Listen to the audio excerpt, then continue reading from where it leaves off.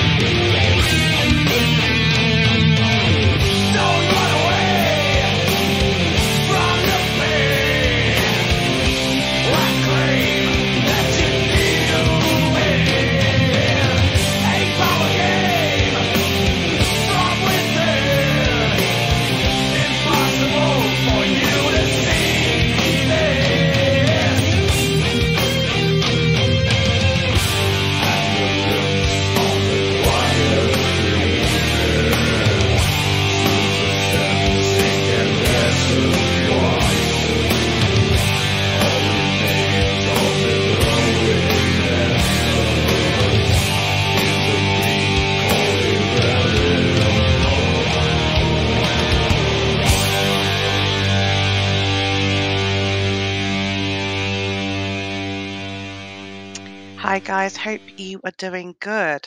So we kind of delayed Society X because I wanted to go and see Paradise Lost, and um, I thought it'd be kinda cool to sort of bring, uh, to the show a little bit about what happened at the gig and everything. So massive thanks to DHP, uh, family who, uh, put me on guest list to see the band and everything, and, um, it was great to see Moonspell as well as the, uh, supporting band who which were also great.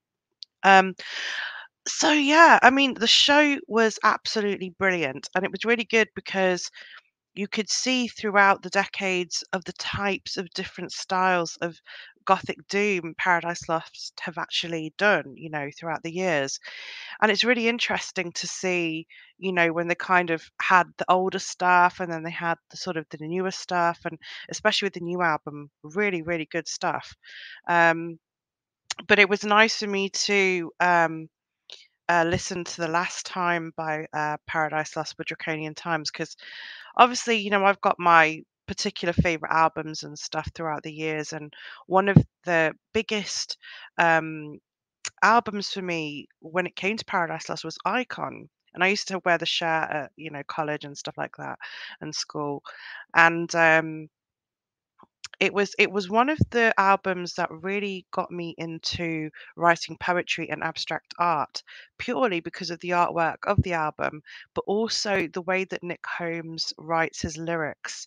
I was absolutely flabbergasted when I, you know, read the poetry. It just re- really spoke to me, and um, you know, so I kind of incorporated a a kind of an influential poetry style from Nick Holmes, believe it or not. You know, that's why I write poetry on the sideline as well as obviously write for Mindlapse and Lake of Dreams.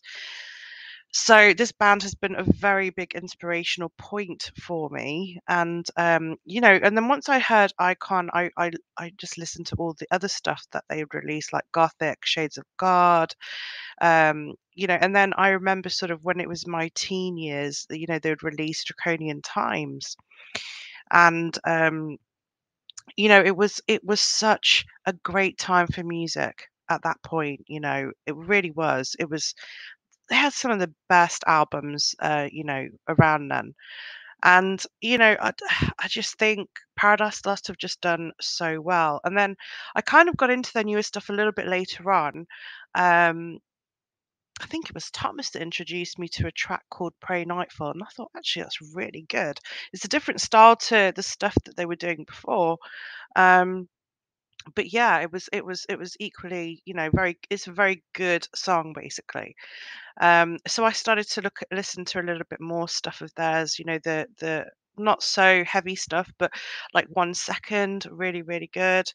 Um, just say words, you know, they those you know those kind of tracks which I equally loved. You know, it's very very good stuff, and I'm and it was really nice to see some of the stuff they played tonight, which was from their recent album, being in the last two years.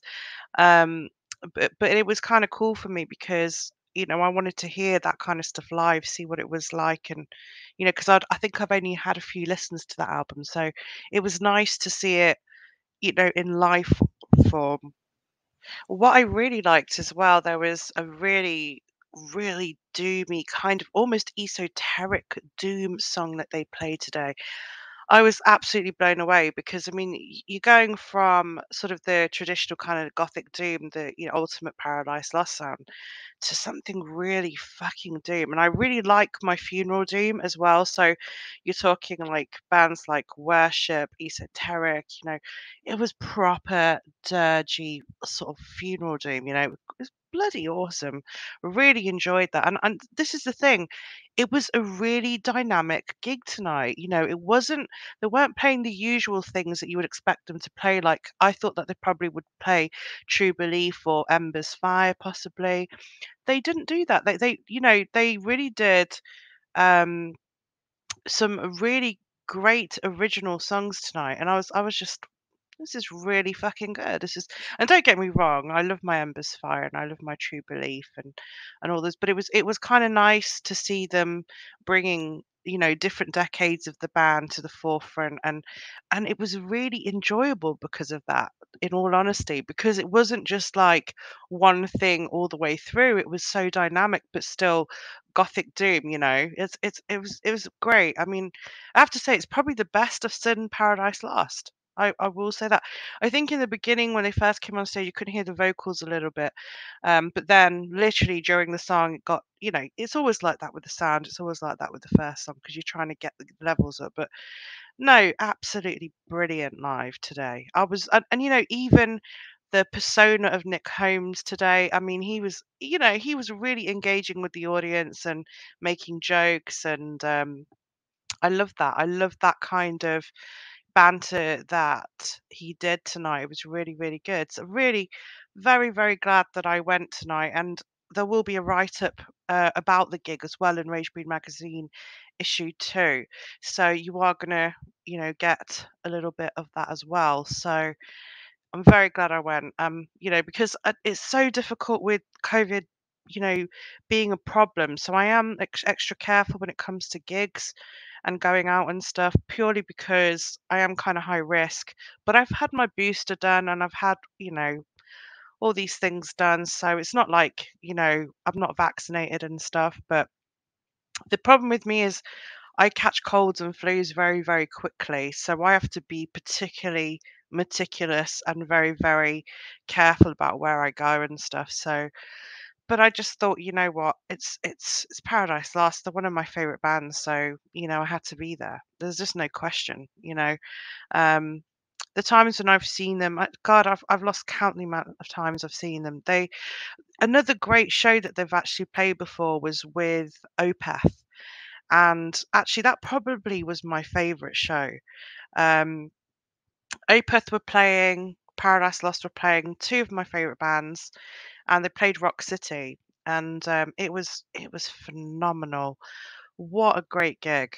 I mean, seriously, was it was really really good. And if you're an Opeth fan like me as well, um, you know, seeing both those bands in th- their in their it was probably the highlights of both careers, I think, you know.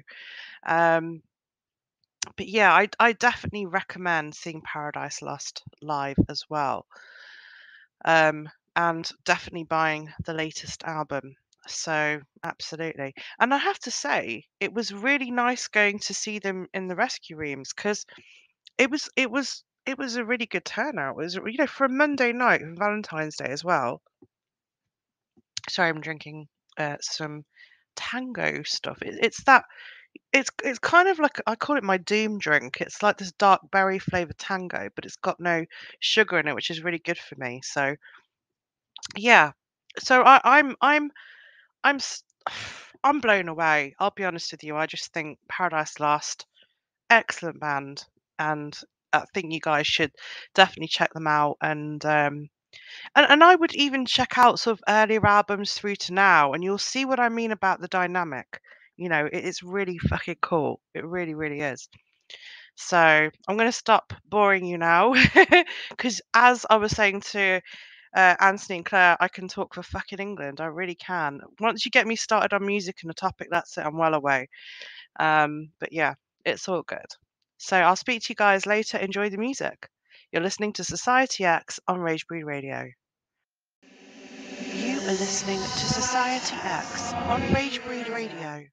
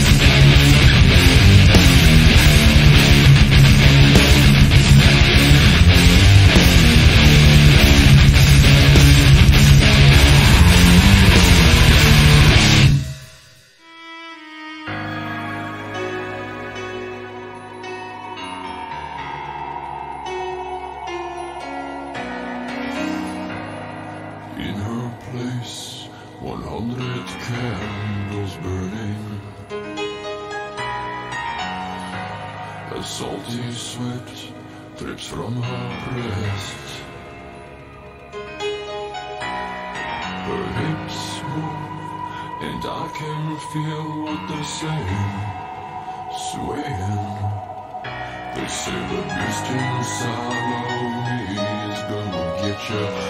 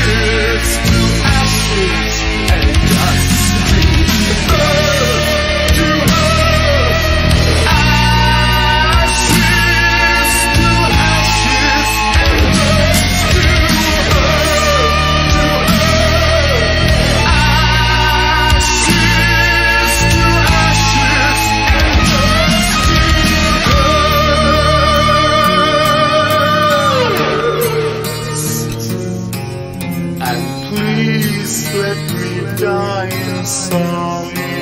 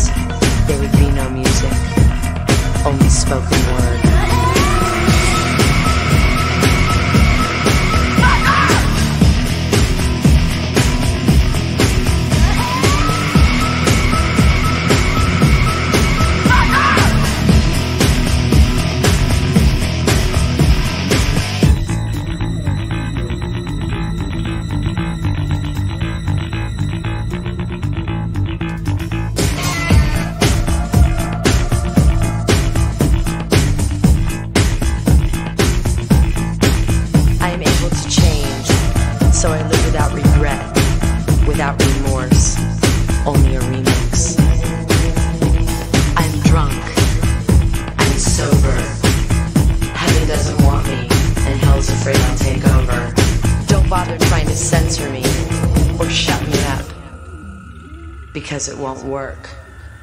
I'm cold and distant, yet warm and close to those who deserve to see that side of me, part of me, the heart of me.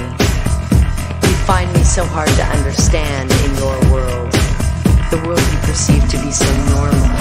I am deformed, scorned, reborn. I am me, and I know exactly who I am, what I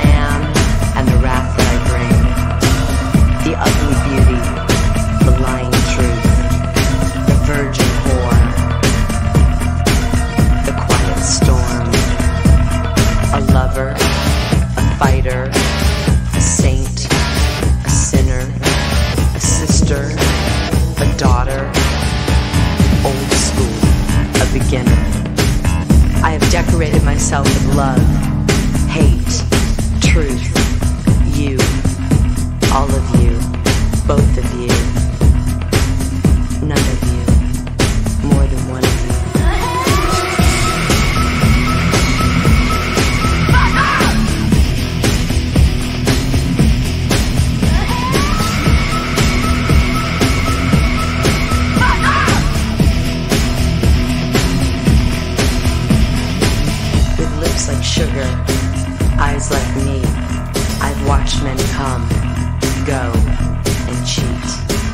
I sleep to dream, and dream of sleep. I had a dream, Joe, that you were standing in the middle of an open road. I had a dream, Joe, that your hands were raised up to the sky and your mouth was covered in foam. I've been crucified, justified, and mortified by my behavior, both feminine and masculine. I'm a contradiction, a juxtaposition. My relief is my release, and only time will tell. All's well that ends well. I am unsweetened, unclean, been called drama queen, ex-girlfriend, ex-member, the tantrum, the temper. I point my finger, take the blame, this time I will own the name, because no one is going to ruin me. If I have to, I will ruin myself. And it will be my ruin, my ruin, my ruin.